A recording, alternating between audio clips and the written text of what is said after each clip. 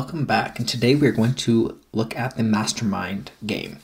So if you've seen this in the stores, this actually is a game that you can uh, purchase.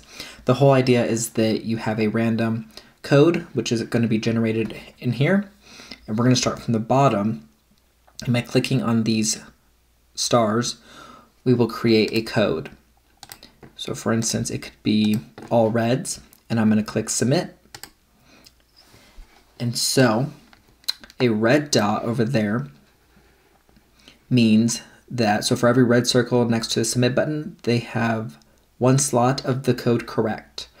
For every white circle next to the submit button, they have one correct color but in the wrong position. So in this case, only one of these is correct and in the right position. And then we will try again with a complete different code.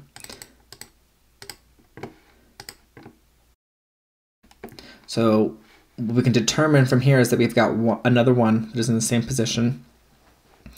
And the only thing that was the same was this red one. So let's leave that there. And then one of these other colors is correct, but not, not in the right position. So we'll swap these two. And we'll do a green there. So now we've got two in the right position. So let's try this with the black and let's do white and white. Okay, so we're gonna say that those two are in the right position, but now we're missing either a blue or a green. I should have caught that before. So let's put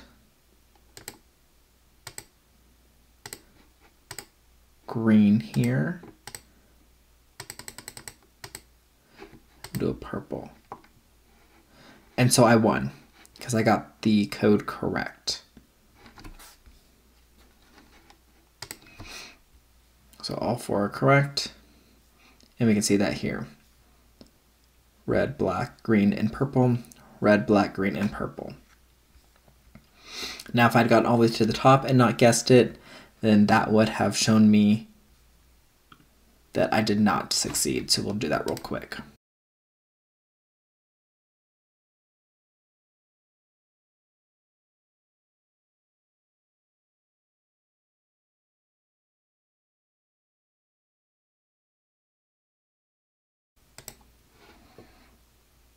So now the code maker won. And so we'll see that the last one's red, but we have black, blue, blue, and red.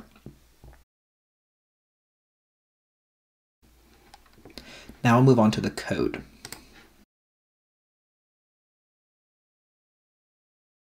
On the CSS, we have our code wrapper with a simple border, some width, some height, and we want to do the display uh, set, set to flex. Uh, we have our solution row, so that's going to be at the top, and we just have some width on there. For there to be no color, um, we set the margin, some font size, and cursor. Uh, so that's going to be with the uh, little star or asterisk. Uh, row output, so that's going to be that little box next to the submit.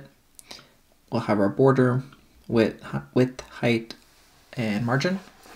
The button, so that's going to be um, that submit button. And then our slot, got border, border radius, width, height, margin, cursor. And this is going to be one of the different pegs or uh, circles that you can select. And then I've got a red, a blue, a black, a white, a green, a purple. And then we have a red result and a white result, which is going to be in that box again when they, uh, after they click submit. On the HTML, we have our basic head that just has all of our different uh, CSS and, uh, and uh, JS, JavaScript.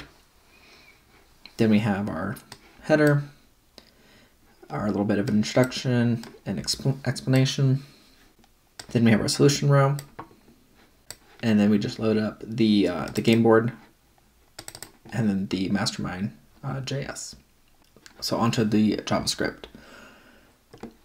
We have the slots set to four and six.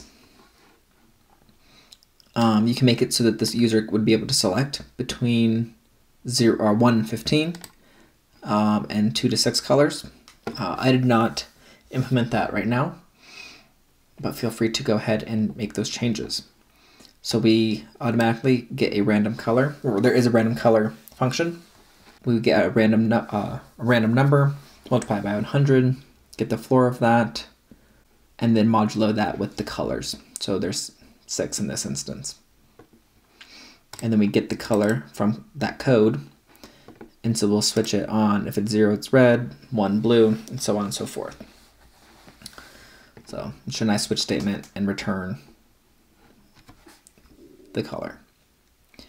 And then to get the code from the color, we give it the color and do a switch statement and then get back the code. To set the solution, we have the solution array, we set it to be empty. We clear out the solution row uh, by the document element ID. We iterate through for however many slots that have been determined from up here. And we randomly select a color and input that into our into the solution row. Game setup. So we clear out the game board and all of the uh, the uh, rows that you can guess, and we reset them to have the no color. And we clear out all of the uh, solution boxes and uh, re uh, enable the submit buttons. To check a row, we have the guessed array and the correct in the correct count. We iterate through the slots in order to get what the guessed array is. We make sure that nothing is going to be undefined, so we check to make sure that it is. If it has undefined, then we just let the user know with an alert to please ensure that uh, the slots have pegs that are selected. Otherwise, then we set the uh, submit button uh, to be disabled. We then call get correct position, correct color. We give it the solution array and the guessed array, and then we show results. Show row results. And we'll get to that in just a second. If the correct count is uh, equal to 4, then we let them know that the code breaker won. And if um, it is row 9, then we show the solution and we say the code maker won. Just to show the solution, we then just set the display to be block, which we had set to be um, none or uh, hidden earlier. For the get correct position, correct color, we give in the arrays. And so we copy those in. We have our counts, we set them to 0 and 0. And so we cycle through the slots. And we actually start at the end and work our way down back to 0. So we have the slot length minus 1, and then we wait until it, uh, so we it's, it's while i is greater than or equal to a 0, and then every time we iterate through, we uh, deduct 1 from i. If the copy array element i equals the same as copy array 2 uh, element at i, then we uh, splice. So we pull it out of those arrays. Uh, so that's going to be the index it starts at, and then how many indexes, or the length of that splice, meaning we're going to pull it out. Uh, we, we add one to the counts um, at the zero index, which means that's at the, uh, again, correct position and correct color. For this one, we look at the length, as long as the length's equal, because again, we just, we pulled all that out. Then we let the temp these temp arrays equal uh, arrays full of zeros. We iterate through the copy array we get the colors, the color codes from each of the indexes. sorry, actually we uh, we we add we iterate through. So this is going to be in the same order as we had above. So they'll map to these codes.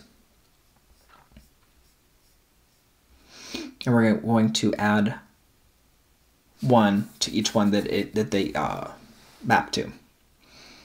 Each code maps to. And then we're going to cycle through temp array 1. And if temp array 1 at the index is greater than 0, and temp array 2 at that index is greater than 0. And let's do another, we did a nested if. If temp array 1 index is greater than temp array 2 index, then we are going to add, we're going to add that count to the counts at array, um, the, the, the array, the counts array at index 1.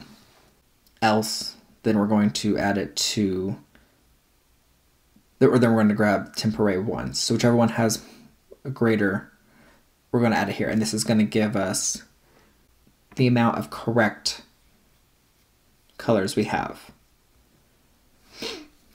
So again, this is going to look at what's in the right position, and this is this is what's going to be able to tell us what is in the correct correct colors, but not the correct position. And then we return that array.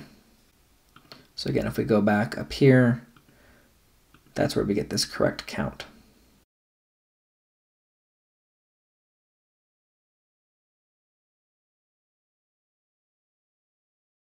Then we're going to show the results. So we bring in the array from up above here, and we can prove that.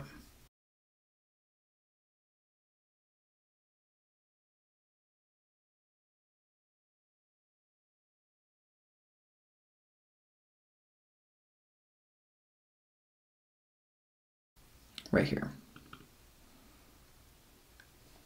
So again, we got that correct position, correct color and then we pass that array into show results. And then we just say which row we're actually in. And by doing that, then we know which row. So we clear, make sure it's cleared out, and it's the output part. We have a top result row and a bottom result result row. And so we set those we have a count set to zero. So everything's in the correct position. And this has to be random because you don't want the result pegs to map to a specific peg that was guessed. So they need to be randomized. So if count is less than the ceiling of counts, of, so if we add counts 0, index 0 and counts index 1, add those together, we divide that by 2, and we get the ceiling of that.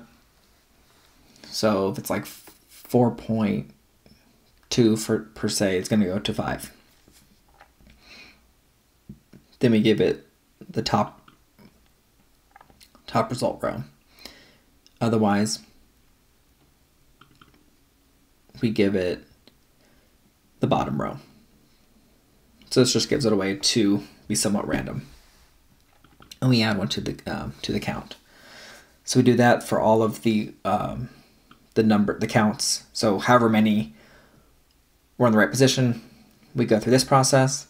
However many we have in the correct color, we do the same process, but it'll be for the white um, result peg color. We add count there. We then add the end of the HTML for the top result and the bottom result row. And then we add that to our actual uh, inner HTML for the output. For changing the color, so when I clicked it, it'll cycle through the different colors.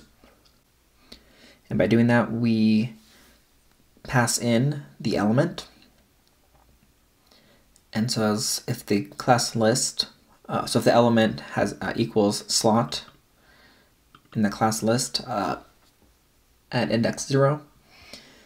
Then the current color, we're going to grab that. That should be the second Um, should be on the second uh, index or index one. We're then going to remove whatever the current color is. And we're going to get the color code. So we have, we have the, the current color. We're to get the color code from that. We're going to add one to that. We then modulo it with however many colors we have to make sure that we always have a number that's not going to give us an undefined or anything like that. Then we get that color code back so that it maps to the right CSS, and we add that to the class list. If it does not have slot in there, then the elements in our HTML we just clear out. We remove no color. We add slot.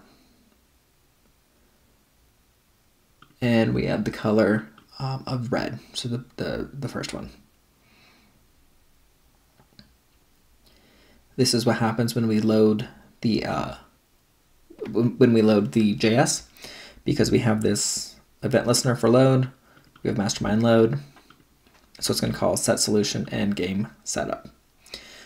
This is pretty cool, and I'd like to see where people take it from here. Thank you guys for watching. Have a good one.